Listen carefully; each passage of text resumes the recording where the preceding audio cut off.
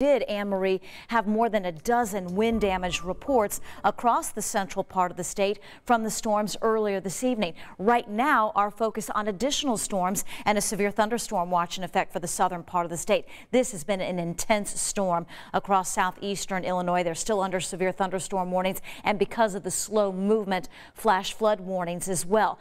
Locally, no warnings, but a couple of the storms that we were tracking now in the southeastern part of our state, just north of Lawrenceburg, that is a tornado warning for Dearborn uh, County. That goes until 645. We do have some additional storms in between Columbus and Westport. The strong storm coming out of Westport headed toward Osgood and staying perhaps just north of Versailles. Future Track 13 shows the spotty showers and thunderstorms mainly south as we go through the next couple of hours and then a weakening complex of storms forecast to arrive early tomorrow morning. That's 7 a.m. We'll stop it at noon. A storm chance tomorrow early half of the day, mainly west and south of Indianapolis. The big story the next couple of days will be the heat. We're back into the 90s. Tomorrow morning at 8 a.m. near 70, 80 midday will forecast highs in the low 80s, 90 to 95 on Wednesday. Wednesday will be a dry day, hot, very muggy and windy as well. Speaking of muggy,